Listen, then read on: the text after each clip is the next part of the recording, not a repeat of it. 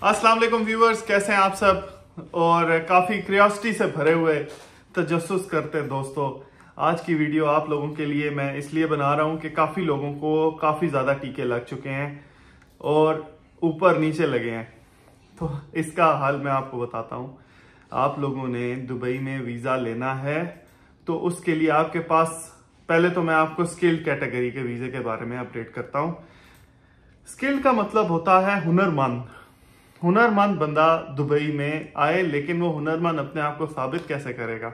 Skilled skilled ऐसे कि वो पढ़ा लिखा है ग्रेजुएशन की हुई है या मास्टर की हुई है।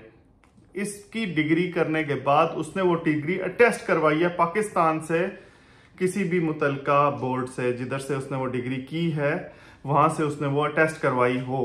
किसी भी इदारे से जहाँ से उनकी वहाँ की यूनिवर्सिटी मुंसलिक थी। और उसके बाद M O F A ministry of foreign affair Dubai का ऑफ़िस है इस्लामाबाद खड्डा मार्केट। वहाँ से उसने जाके पहले अपनी डिग्री को वेरीफाई करवा लेना है, जो न्यू कमर्स हैं। मसलन newcomers skill labour skilled visa उसने आने से पहले पहले जैसे ये टेस्ट करवानी है, उसके बाद उसने जिस कंपनी में उसको वीज़ा चाहिए या जिस कंपनी में उसकी जॉब की रिक्वायरमेंट है, उसको ये चीज़ें अपने पासपोर्ट बमा picture passport size white background के साथ और Pakistani ID card front back से उसको सेंड कर देना है तो वो ये वीज़ा निकाल देगा।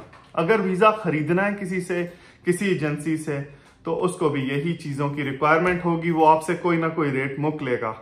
आजकल वीजे की जो कॉस्ट है, डायरेक्ट कॉस्ट है, सीधी सीधी वो पिचहत्तर सौ दिरम है एमरेट्स आईडी इंक्लूडेड। लेकिन कोई अपना काम फ्री में थोड़ी करेगा तो इसके ऊपर आपको कोई 2500 चार्ज करेगा, कोई 4000 चार्ज करेगा, और आपको एक एम्प्लॉयमेंट मज़े का गर्मा गर्म वीज़ा इशू कर देगा, दुबई से।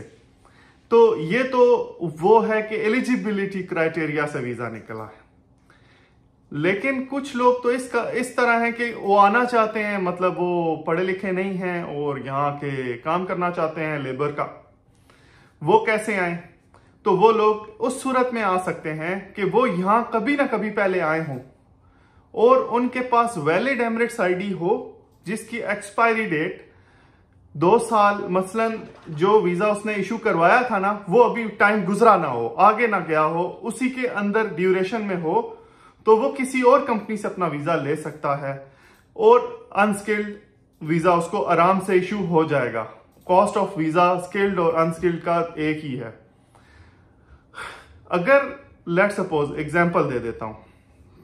मैं अपनी एग्ज़ाम्पल देता हूँ कि मैं कैंसिल होकर एक कंपनी से पाकिस्तानी हूँ मैं तो अगली कंपनी में जाना चाहता हूँ।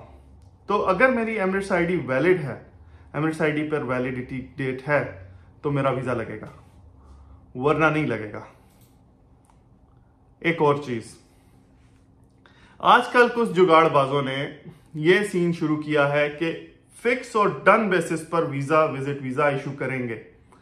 तो वो यहाँ के सिस्टम के साथ गैर कानूनी तौर पर खेलेंगे और आपको एक वीज़ा निकाल कर दे देंगे। मैंने बहुत सारे एजेंट से ये चीज़ सुनी है कि वो ये काम कर रहे हैं।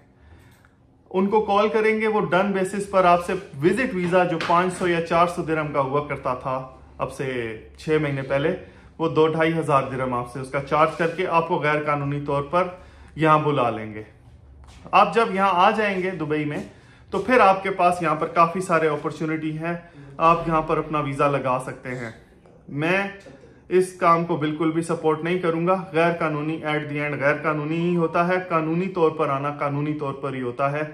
तो आप तब तक वेट कर लीजिए जब तक हमारा ये कानून बदलकर ठीक नहीं हो जाता। और हम लोग पाकिस्तानी लीगली तौर पर यहाँ पर आके न्यू कमर्स अलाउ नहीं हो जाते, तब तक आप वेट करें। और इसमें हाँ आपको कोई भी सवाल है तो मैं अपना ईमेल एड्रेस इधर वीडियो में छोड़ूँगा। आप उस पर मुझे ईमेल करें, अपना व्हाट्सएप नंबर भी ईमेल करें।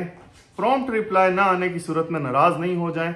मैं आपको रिप्लाई करूँगा ज़रूर, लेकिन जब मेरे पास टाइम होगा, आप लोगों की रिक्वेस्ट आप लोगों की बातचीत, आप लोगों का मेरा वीडियो देखना सर आँखों पर अपना ख्याल रखिए। अल्लाह हाफिज़।